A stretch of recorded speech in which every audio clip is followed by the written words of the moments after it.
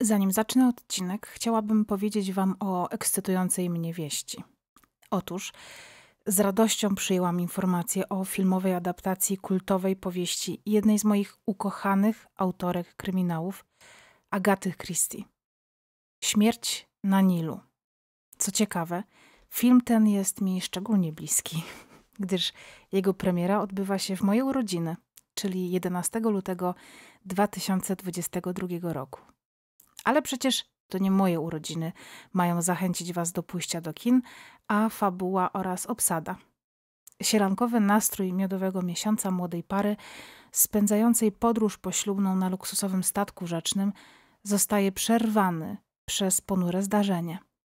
Beztroska wycieczka po Egipcie zmienia się w poszukiwania mordercy, na czele których staje jeden z uczestników rejsu po Nilu, niezawodny Herkules Poirot.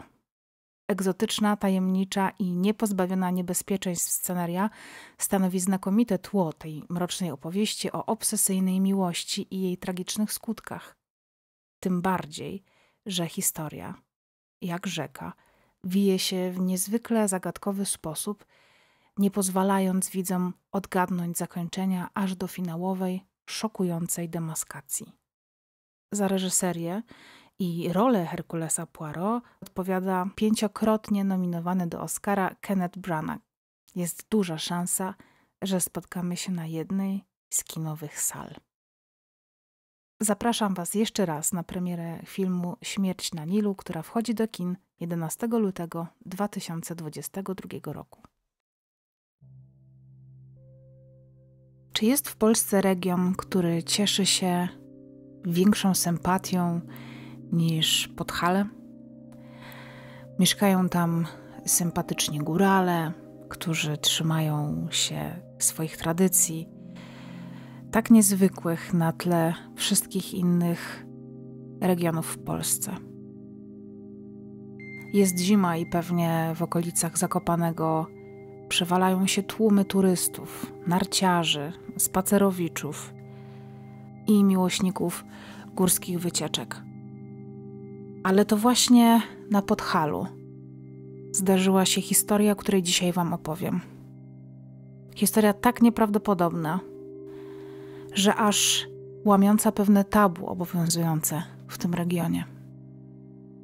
Zapraszam Was dzisiaj do wysłuchania historii o Annie Nędzy i jej mężu Józefie.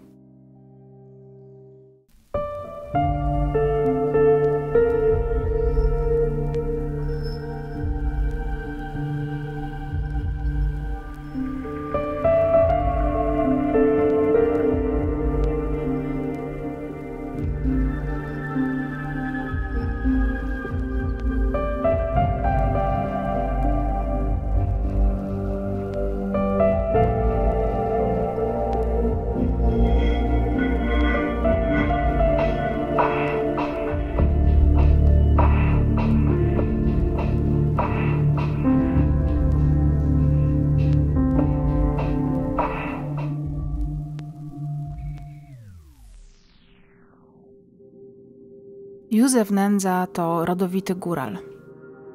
Mieszka w kościelisku pod Zakopanem. Przez lata trenuje biegi narciarskie. Stąd jako 40-letni mężczyzna może pochwalić się no, rewelacyjną kondycją fizyczną. Od 1983 roku Józef jest cieślą, tak jak jego ojciec i prawdopodobnie jego dziad i pradziad. Józef jest bardzo zdolny, więc często wyjeżdża do pracy do Warszawy. I właśnie podczas takiego wyjazdu, jednego z takich wyjazdów, poznaje swoją przyszłą żonę, Annę. Młodzi szybko zakochują się w sobie, potem biorą ślub, a po trzech latach małżeństwa Anna przeprowadza się w rodzinne strony Józefa. Zamieszkują w niewielkim domu na uboczu. Ich rodzina szybko się powiększa i po kilku latach mają czwórkę dzieci: dwóch synów, Krzysztofa i Huberta oraz dwie córki: Krystynę i najmłodszą Kingę. Józef, aby zapewnić pieniądze rodzinie, ciężko pracuje. To też taki etos głowy rodziny, pracowitego górala, który utrzymuje całą rodzinę. Zdarza mu się w dalszym ciągu wyjeżdżać do pracy. I wtedy zazwyczaj udaje się do innego miasta na budowę, gdzie czasem spędza nawet miesiąc i dopiero po tym czasie wraca do domu.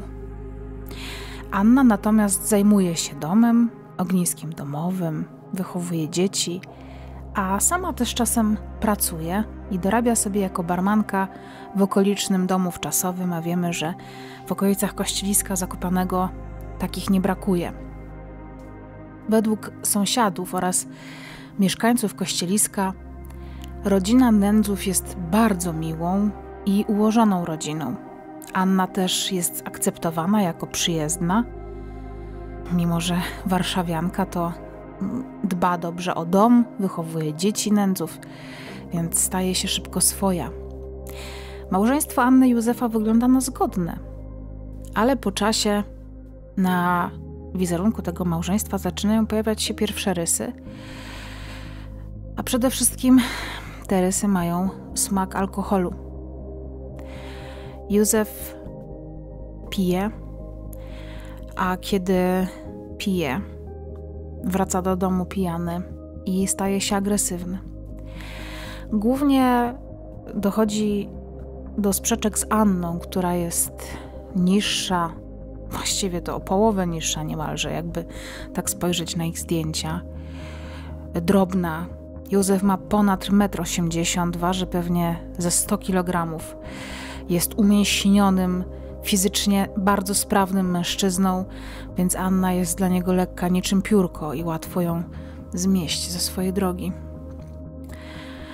Dzieci zaczynają um, unikać kontaktu z ojcem, boją się go i nie wchodzą mu w drogę, szczególnie wtedy, kiedy jest pod wpływem alkoholu. Ta agresja się mocno nasila i kilkukrotnie Anna podczas napadów agresji Józefa decyduje się wezwać policję. Zazwyczaj jednak interwencja służb kończy się na tym, że kiedy patrol podjeżdża pod dom nędzów, to Józefa już nie ma na miejscu.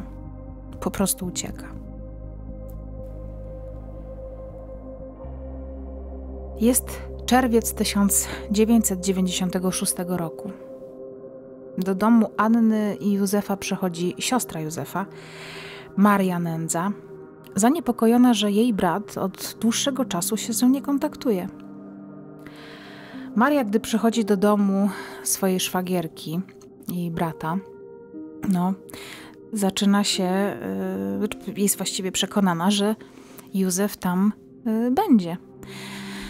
Ale zastaje dom, w którym tylko i wyłącznie jest Anna, yy, gdzieś tam biegają sobie dzieci. Anna mówi Marii, że Józef wyjechał do Warszawy, do pracy. Ona nie wie, kiedy wróci. Jest 96 rok, więc prawie nikt nie ma komórek, więc też ten kontakt jest utrudniony. Nie wiadomo, jaka to jest budowa, jak daleko od centrum, czy jest tam w ogóle jakiś telefon, więc naprawdę nic się takiego nie dzieje. Ale po kilku dniach Maria znowu przychodzi do domu brata i ponownie nie zastaje go w domu. Tym razem bratowa Marii tłumaczy, że Józef wysyła jej pieniądze, ale że wciąż nie zna szczegółów jego powrotu. Po kilku tygodniach rodzina i krewni Józefa niepokoją się już na tyle, że nakłaniają Annę do zawiadomienia policji i zgłoszenia jego zaginięcia. Anna zaczyna sama się martwić. Mm, być może faktycznie zbytnio ignoruje ten fakt, że z mężem nie ma kontaktu. Dlatego udaje się na komendę policji w Zakopanem i składa mm, zawiadomienie o zaginięciu. Rusza wówczas śledztwo w sprawie zniknięcia Józefa Nędzy, a działania funkcjonariuszy sprowadzają się głównie do przesłuchania rodziny oraz sąsiadów. Ale ani rodzina, ani sąsiedzi niczego nie wiedzą.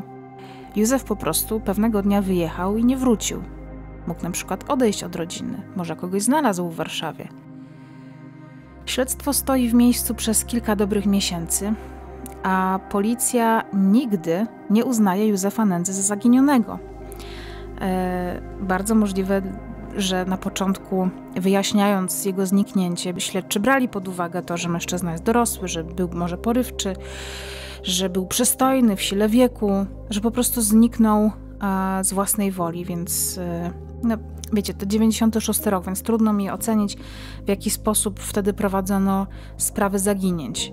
E, faktem jest, że śledczy czy policjanci myślę, że bardzo mocno zaniedbali tutaj zgłoszenia rodziny i nie uznali Józefa za zaginionego. I po tych kilku miesiącach, kiedy sprawa stała w miejscu, Józef nie dawał znaku życia. Rodzina nic nie wiedziała, sąsiedzi nic nie wiedzieli, znajomi, koledzy z byłych budów, y, jacyś naprawdę dalecy znajomi, no nikt nic nie słyszał. E, to sprawiło, że siostra oraz ojciec Józefa nabierają absolutnego przekonania, że musiało dojść do tragedii. Być może Józef został potrącony przez samochód, być może y, stał się jakiś wypadek na budowie, gdzie pracował na czarno na przykład i, i pracodawca nie chciał mieć żadnego mm, problemu z tego tytułu. No, kary mogły być gigantyczne, a sam taki pracodawca mógł iść do więzienia za niezapewnienie bezpieczeństwa pracownikom ale także gdzieś z tyłu głowy mają myśl, że to Anna może mieć coś wspólnego ze zniknięciem Józefa. Głośno w okolicy kościeliska robi się rok po zniknięciu Józefa. Anna wtedy nagle zachodzi w ciążę i jest to o tyle dziwne, że wszyscy w okolicy wiedzą, że mąż Anny zniknął i od roku nie wie, co się z nim dzieje. I ten fakt daje do myślenia bliskim Józefa, którzy upewniają się w swoich przekonaniach, że Józef zapewne nie żyje, a za jego śmiercią musi stać jego żona, bo gdyby Anna wierzyła, że jej mąż się może odnaleźć, że gdzieś tam jest, że może wrócić, nigdy nie wdałaby się w romans, choćby, jeżeli nie z miłości, to ze strachu przed agresją męża. Po kilku latach w okolicy wszyscy już wiedzą, że Anna spotyka się z jednym z sąsiadów, Markiem M. To zmyślone im jej nazwisko. Policja w związku ze zniknięciem Józefa przesłuchuje Marka, ale on nie wnosi nic nowego do sprawy i twierdzi, że nie ma absolutnie żadnych informacji na temat Józefa, ale też nie czuje potrzeby ukrywania, że związał się z Anną i że są razem od kilku miesięcy i spodziewają się dziecka. Co więcej, w 2001 roku Anna rodzi jeszcze jedno dziecko drugiego syna Marka M. Rodzina Józefa, widząc jak ich synowa, bratowa, być może już była, nie wiadomo jak ją nazywać, rozpoczyna nowe życie u boku innego mężczyzny, no jest zszokowana.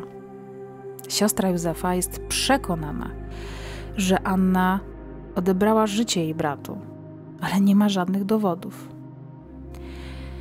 W 2003 roku Maria Nędza jedzie do Krakowa, gdzie mm, udaje się do archiwum Mix, krakowskiego Wydziału Archiwum Mix, o którym wówczas zaczyna pisać prasa i prosi, aby e, śledczy z tego archiwum wzięli na tapet sprawę zaginięcia Józefa, bo liczy głównie na to, że znajdą ciało jej brata i że będą w stanie go chociaż godnie pochować.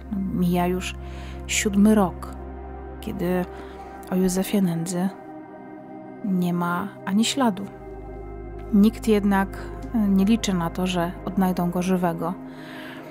I to też pierwszy szok, z którym musi zmierzyć się rodzina, mimo że się spodziewają, to jednak usłyszeć coś takiego od doświadczonych śledczych e, jest traumatycznym doświadczeniem. Przede wszystkim chcą wiedzieć, co się stało i kto zabił ich ukochanego syna i brata. Śledczy zaczynają przesłuchiwać ponownie członków rodziny i na pierwszy ogień biorą Annę oraz najstarszego syna nędzów, Krzysztofa, który wówczas pracuje w jednej z piekarni w Zakopanem. Podczas tych pierwszych przesłuchań, e, do, które, do których zresztą dochodzi 30 września 2003 roku, ku zdziwieniu wszystkich, Krzysztof przyznaje się do zabójstwa swojego ojca. Podczas obszernych wyjaśnień Krzysztof opisuje przebieg wydarzeń. Jak twierdzi, podczas wieczornej kłótni ojca z mamą, kiedy zobaczył, że Józef bije matkę po twarzy, wziął siekierę i zadał mu cios od tyłu w szyję. Następnie Józef miał zalać się krwią i paść na ziemię. Krzysztof razem z matką ukryli ciało ojca w szopie, którą zamknięto na kłódkę. Następnego dnia nad ranem Krzysztof udał się na stację benzynową po kanister z benzyną, a kilka dni później, wczesnym rankiem, spalili ojca w ognisku. Ognisko paliło się kilka godzin, a rzeczy, które pozostały, czyli drobne kości, zabrali i zakopali w lesie. Szokujące. Tym bardziej, że Krzysztof dwukrotnie przedstawia policji tę samą wersję wydarzeń i dla funkcjonariuszy jednak niewyobrażalne jest to, że chłopiec, no wtedy Krzysztof nie jest chłopcem, ale y, kiedy dochodziło do tych strasznych scen, Krzysztof miał 11-12 lat i dla śledczych jest to niewyobrażalne, że był w stanie, dziecko, no po prostu dziecko było w stanie dokonać morderstwa swojego ojca jeszcze w tak brutalny sposób. Tym bardziej, że mm, biorąc pod uwagę jego możliwości psychiczne i fizyczne, no nie był w stanie postawić się dobrze zbudowanemu, wysokiemu mężczyźnie, jeszcze wysportowanemu, który na co dzień parał się pracą fizyczną, zresztą bardzo ciężką. To jest absolutnie graniczące z cudem. Chyba, że Józef był odurzony albo y, spał, nie wiem, był zamroczony.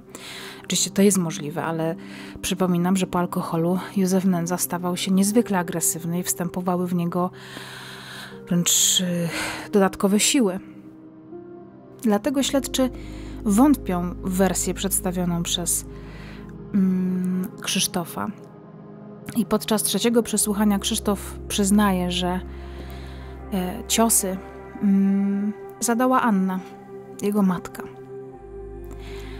Śledczy więc przesłuchują Annę Nędzę, która od razu przedstawia swoją wersję wydarzeń. Mm, I według tej wersji wydarzeń to Anna miała odebrać życie swojemu mężowi. Przez kilka dni śledczy przesłuchują zarówno Krzysztofa, jak i Annę i konfrontują ich zeznania, chcą dojść do prawdy, bo mają sytuację, gdzie dwie osoby przyznają się do zabójstwa. Motyw mają oboje matka i syn. I ten motyw dla śledczych jest absolutnie zrozumiały.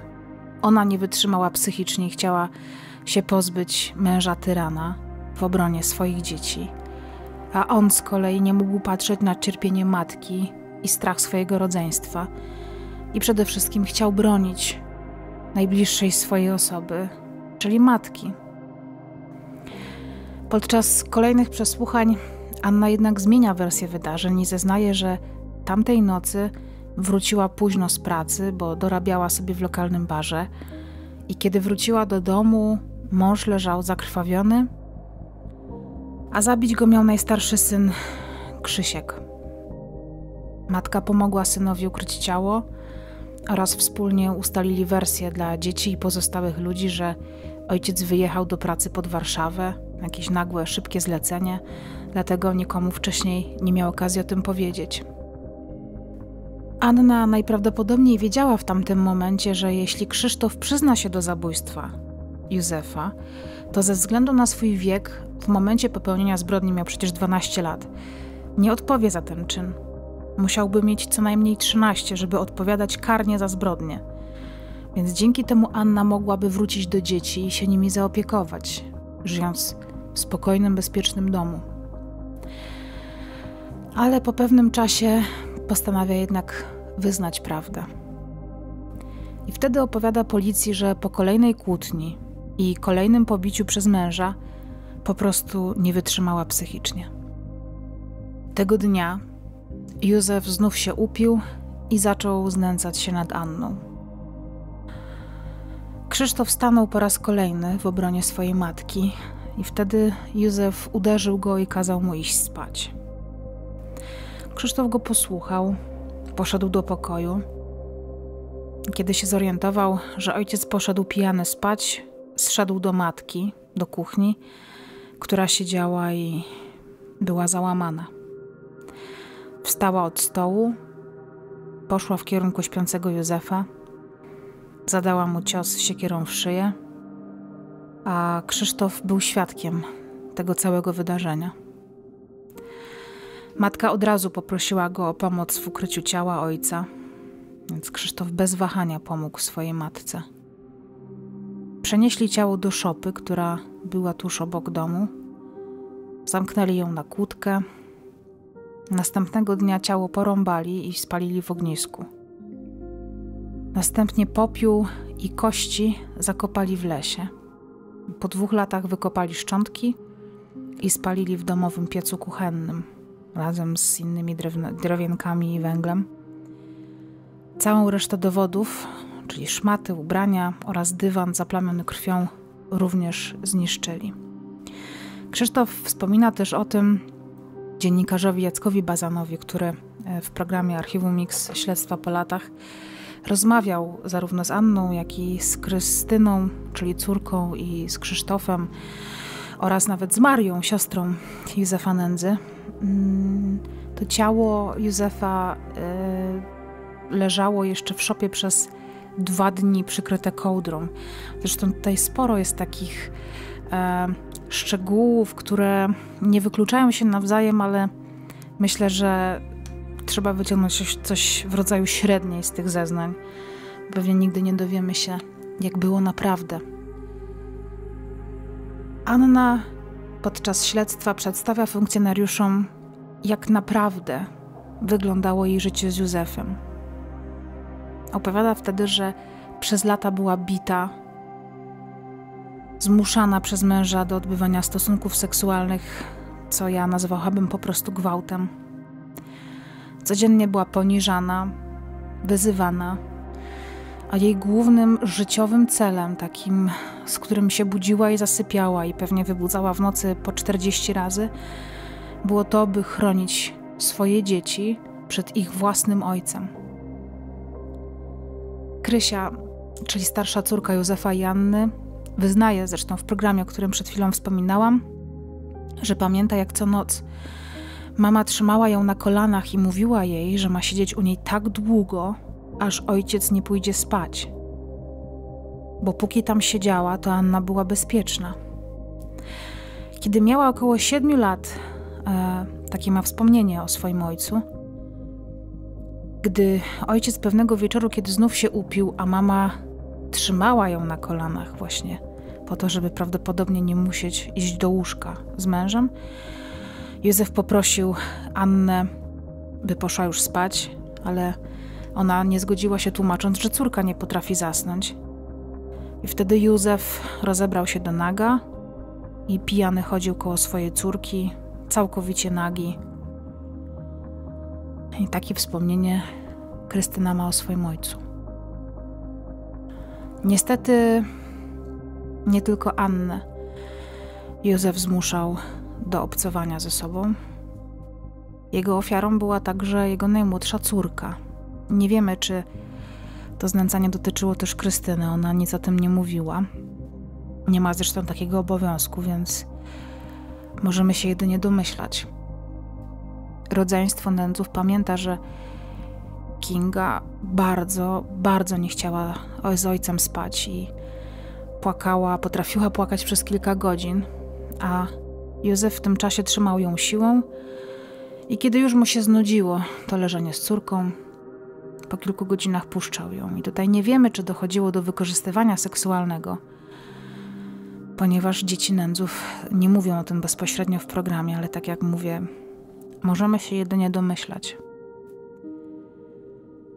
Krystyna ma jeszcze drugie wspomnienie o swoim ojcu, kiedy to w środku nocy pewnego dnia przyszedł do niej, kiedy spała, obudził i kazał jej zmywać podłogę, która cała była we krwi. Ta krew y, należała do Anny, która miała całkowicie pocięte ręce. Anna wyznaje, że przez lata każdej nocy widziała w oczach swoich dzieci strach. Jej syn w wieku siedmiu lat potrafił zmoczyć spodnie na widok swojego pijanego ojca, mimo że absolutnie mu się to wcześniej nie zdarzało. Wszystkie dzieci zawsze, zawsze stawały w obronie swojej matki. Przez lata zresztą obserwując jednocześnie, jak ojciec ją maltretuje. Anna, ze względu na złe traktowanie przez męża, przez lata chorowała na depresję. Przyjmowała na stałe leki. Podczas przesłuchania zresztą wyznała policjantom, że przez pewien czas, aby uniknąć agresji ze strony Józefa, potajemnie podawała mu swoje antydepresanty w herbacie. Dzięki tym lekom Józef stawał się spokojniejszy i bardziej senny. Często był to zresztą jedyny sposób, aby uchronić dzieci przed biciem i poniżaniem. Tutaj chcę nadmienić, że bardzo możliwe, że to nie były antydepresanty, tylko na przykład silne leki uspokajające, takie przeciwpsychotyczne. Tak tylko tutaj mm, zwracam uwagę na to słowo antydepresanty. Senior Nędza, ojciec Józefa, podczas zeznań potwierdził, że jego syn czasem zachowywał się jak nie on. Mówił nieskładnie, często nie wiedział, jak odpowiedzieć na proste pytanie. Zachowanie Józefa było dla jego ojca mocno zastanawiające i przez pewien czas snuł podejrzenia, że Anna musi go podtruwać. Bardzo możliwe, że właśnie w taki sposób Józef reagował na te leki silne, które y, Anna miała przepisane na siebie i podawała mu. Być może faktycznie chodziło o spały, być może tych leków było za dużo. Archiwum Mix po przesłuchaniu e, Anny i Krzysztofa e, wrócili do kościeliska i zaczęli przesłuchiwać sąsiadów. I ci sąsiedzi zeznają, że tuż po zniknięciu Józefa na posesji nędzów paliło się ognisko, z którego odchodził wielki, śmierdzący dym. Podobno zresztą jeden z sąsiadów podszedł wtedy do Anny zapytać, czym pali to ognisko, że tak śmierdzi i tak gęsty, gryzący dym się z niego unosi. Anna wtedy miała odpowiedzieć, że pali starymi szmatami i kołdrami, bo nie ma co z nimi zrobić. Przypominam, 96 rok. Nie było żadnej kampanii o tym, że się śmieciami nie pali. Zresztą nawet po kampaniach dzisiaj się pali, ale wtedy ta świadomość była dużo, dużo niższa albo w ogóle znikoma. Dlatego też więcej nikt nie dociekał. Ale najprawdopodobniej to właśnie wtedy na oczach sąsiadów dochodziło do spalenia ciała Józefa. Niektóre źródła podają, że Anna w dniu zabójstwa również podała mu leki psychotropowe właśnie po to, aby nie był w stanie się w ogóle obronić. Śledczy z Wydziału Archiwum Mix zatrzymują Annę, która trafia na początku na trzy miesiące do aresztu. Krzysztofowi nie zostają postawione żadne zarzuty, nie zostaje poddany żadnej karze. Przede wszystkim ze względu na wiek w momencie popełnienia zbrodni. Annie za zabójstwo Józefa grozi od 4 do 25 lat pozbawienia wolności. Kiedy dochodzi do procesu, to w jego trakcie Anna w pewnym momencie odwołuje wszystkie swoje zeznania, stwierdzając, że nie uczestniczyła w żaden sposób w morderstwie swojego męża. Odmawia składania jakichkolwiek zeznań, tłumacząc to tym, że nie chce pogrążać najbliższych członków rodziny. A przypominam, że Anna nie mieszkała nie pochodziła z y, okolic Zakopanego czy z Kościeliska, tylko pochodziła z Warszawy, więc rozumiem, że przez najbliższych członków rodziny rozumie swoje dzieci, ma na myśli swoje dzieci. Wtedy też z aresztu pisze list do Krzysztofa, w którym prosi go o to, aby to on wziął winę na siebie. Anna motywowała to tym, że Krzysztof nie odpowie za zabójstwo swojego ojca właśnie ze względu na wiek, Dzięki temu Anna nie trafi do więzienia. Będzie mogła wrócić do domu i dalej zajmować się dziećmi w spokoju i szczęściu. Ale ten list nigdy nie trafił do Krzysztofa, ponieważ zostaje zatrzymany przez służbę więzienną. Po czasie Anna powraca do pierwotnej wersji wydarzeń i opowiada o niej przed sądem. Jedynym śladem po Józefie Nędzy i w tej sprawie staje się ślad krwi odnaleziony na deskach podłogowych w domu Nędzów. Badania wykazują, że krew należała do Józefa, ale nie mógł to być dowód w sprawie zabójstwa, ponieważ ciała nigdy nie odnaleziono, a tej krwi też nie było na tyle, że jej ilość wskazywałaby na to, że Józef musiał stracić w tym miejscu życie.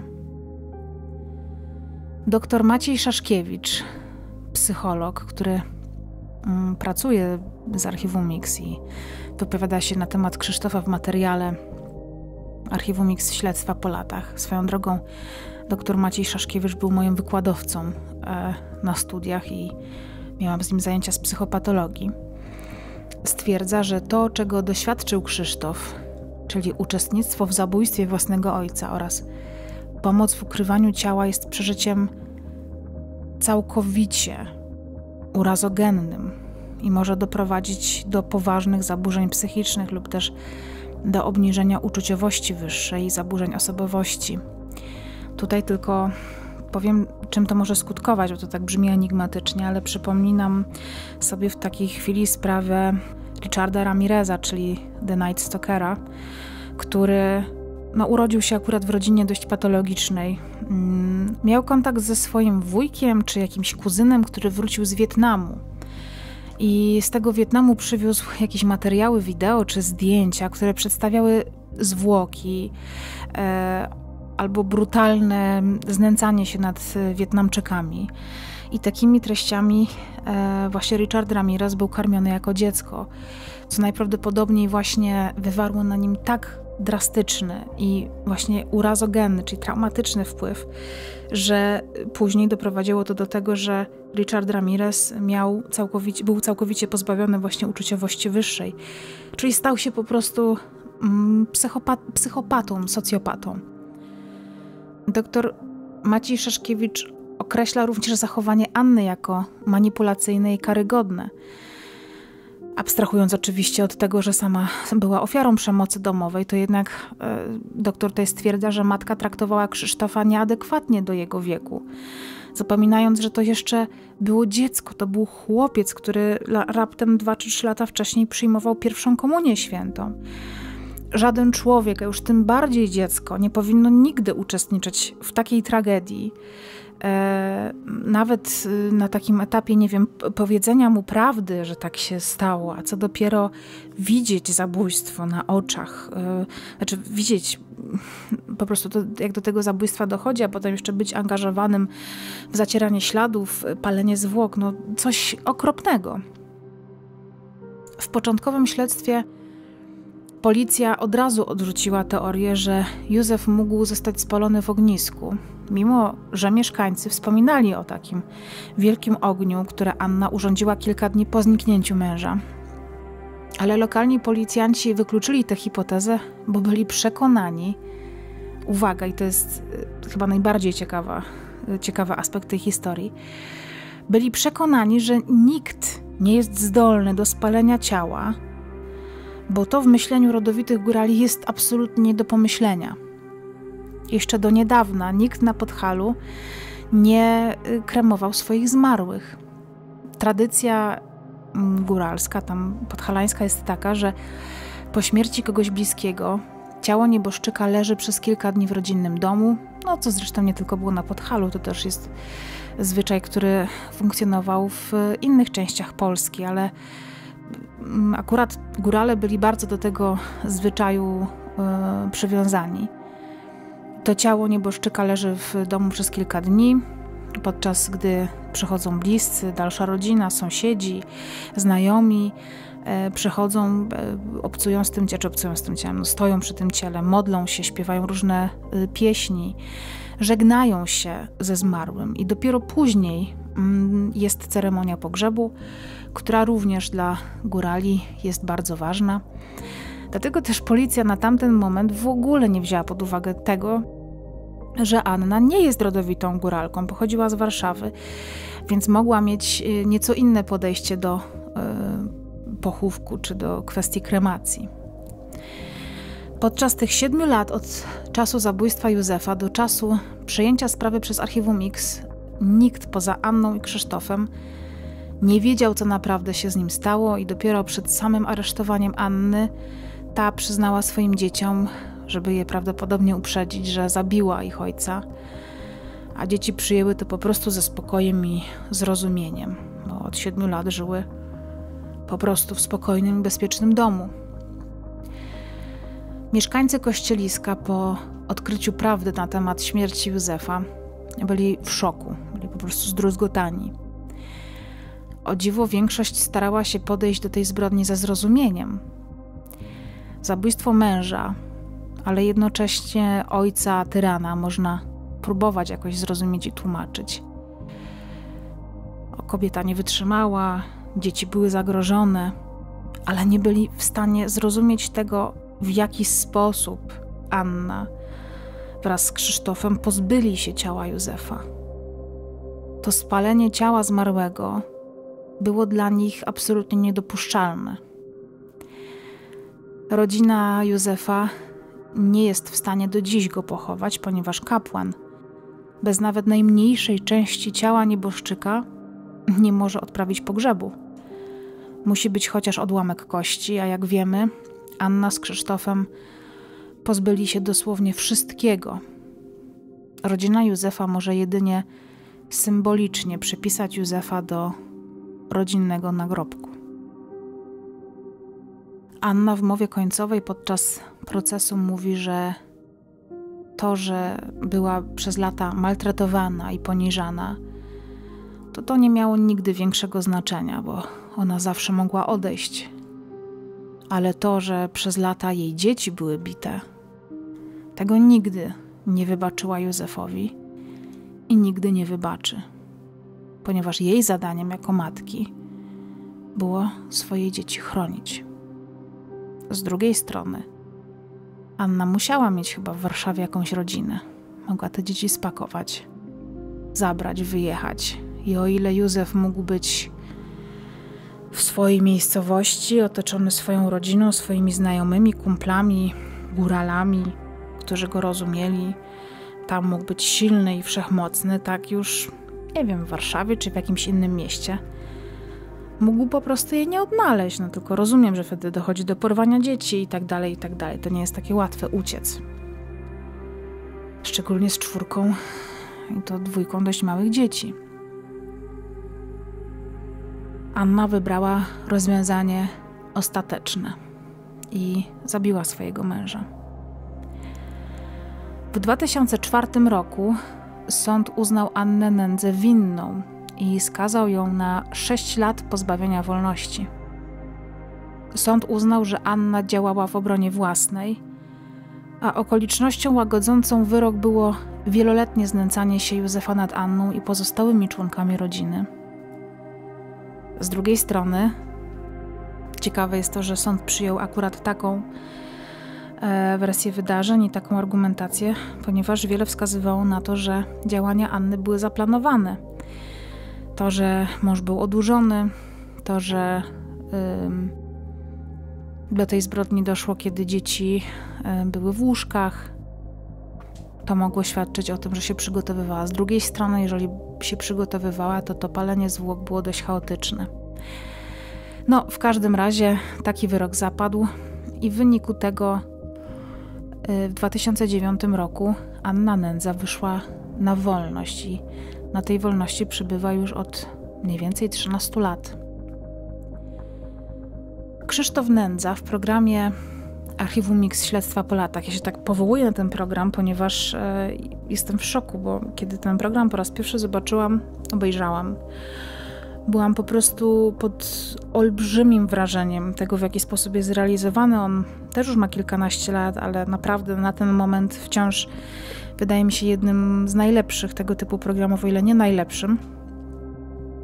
I paradoksalnie ta sprawa, która y, bardzo mi się wryła w głowę i w pamięć, jest niezwykle y, słabo opisana w mediach. Y, dlatego też tak się powołuję na na to konkretne źródło. Mm, więc Krzysztof po kilku latach od wyjaśnienia sprawy, właśnie w tym programie, przyznawał, że do dzisiaj uważa, że to było jedyne wyjście.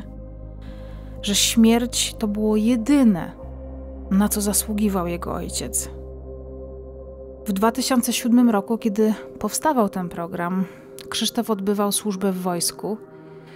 Krystyna i Hubert mieszkali nadal w rodzinnym domu, w którym doszło do tragedii. Krystyna zresztą e, nie musiała już iść do domu dziecka, była chyba pełnoletnia. Hubert był pod jej opieką, natomiast najmłodsza córka, Kinga, była wówczas w domu dziecka.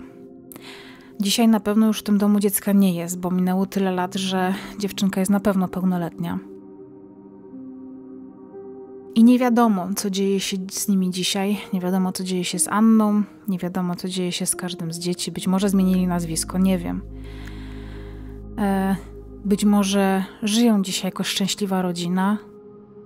E, być może udało im się odciąć od tej traumy. Ale tę historię chciałam zakończyć e, trochę innym akcentem, ponieważ e, pamiętam, że kilka lat temu.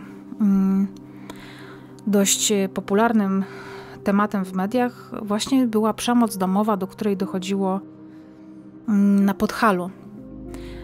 I faktycznie, jeżeli przyjrzymy się całej, całej serii e, Archiwum Mix Śledztwa po latach, to właściwie większość tych spraw, do których e, tam dotarto, to są sprawy e, właśnie z okolic Zakopanego. No oczywiście myślę, że głównie dlatego, że Jacek Bazan chyba jest krakowskim dziennikarzem.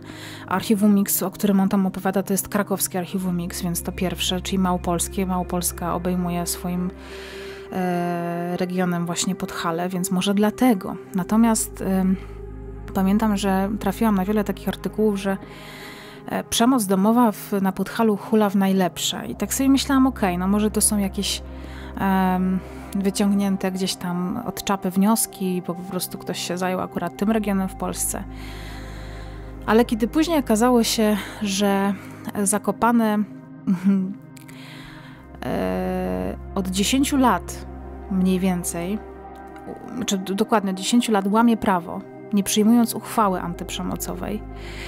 E, I to jest jedyna gmina w Polsce, która tej ustawy antyprzemocowej nie e, przyjęła. To znaczy, że w Zakopanem właściwie nie ma ośrodków ani takich struktur, e, wiecie, takich samorządowych, jakichś organizacji, z ramienia oczywiście takich państwowych, które zajmują się ofiarami przemocy domowej. Nie chroni się przemocy domowej. Ta przemoc domowa najprawdopodobniej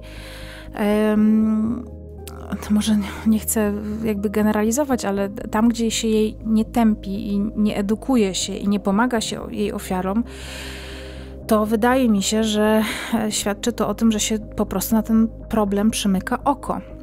I jest wiele historii właśnie z tamtego regionu, które e, kończą się albo śmiercią kobiet, albo kończą się śmiercią mężczyzn, które kobiety będące ofiarami takiej przemocy po prostu zabijają. To nie jest jedyna taka historia, o której e, opowiem Wam w tym podcaście. E, i, I to jest moim zdaniem największa zbrodnia. No. Absolutnie nie uważam, że Józef Nędza za, zasłużył na to, e, by odebrać mu życie w tak brutalny sposób, ale uważam, że Anna i jej dzieci zasługiwały na pomoc. Mm. To, dlaczego o nią nie poprosiły, to jest inna kwestia. Być może nie poprosiły, bo nie wiedziały, że mogą, może nie poprosiły, dlatego że bały się oceny społeczeństwa.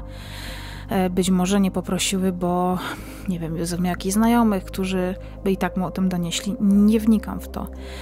E, natomiast jestem pewna, że gdyby pomoc kobietom i ofiarom przemocy była mm, zarówno w tamtym regionie, jak i w ogóle w Polsce, E, bardziej kompleksowa i gdyby edukacja na temat przemocy domowej i w ogóle jakiejkolwiek przemocy była większa, to y, nikomu by nie przychodziło do głowy, by chwytać za siekierę i pozbawiać życia swojego oprawcy. I z tą myślą Was dzisiaj zostawiam, y, apelując również o to, żebyście na taką przemoc reagowali Niekoniecznie trzeba się od razu wdawać z kimś w bójkę, mm, wymierzać sprawiedliwość na swoją rękę, na własną rękę, e, ale reagujmy na przemoc i chcę tutaj serdecznie pozdrowić jednego z moich słuchaczy, który ostatnio podzielił się ze mną taką historią, że właśnie zareagował, słysząc przemoc domową e, w swoim bloku i tak jak nigdy nie przyszło mu do głowy, żeby dzwonić na policję, tak po słuchaniu o ludzkich historiach, które się zaczynają w jakimś bloku, w jakiejś rodzinie, w jakimś domu, mm, postanowił zareagować. I do takiej postawy Was e, zachęcam. E, warto też e, przeczytać jakieś poradniki, takie bardzo proste, nawet na stronie Centrów Praw Kobiet można sobie takie poradniki pobrać. Nigdy nie wymierzajmy tej sprawiedliwości na własną rękę, nigdy też nie odchodźmy gwałtownie i nagle od y, sprawcy przemocy, ponieważ badania pokazują, że to właśnie w takiej sytuacji, kiedy oprawca traci kontrolę nad swoją ofiarą, może dochodzić do drastycznych e, scen i e, no nie wiem, ostatnio też Wam wspominałam o historii Gabi Petito, która najprawdopodobniej właśnie życie straciła w momencie, w którym chciała odejść i zaczęła komunikować to, że coś jest nie tak.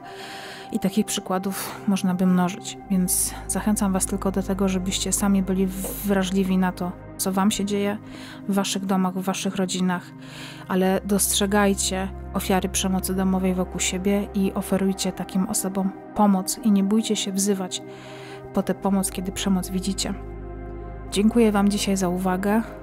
Bądźcie proszę bezpieczni i do usłyszenia.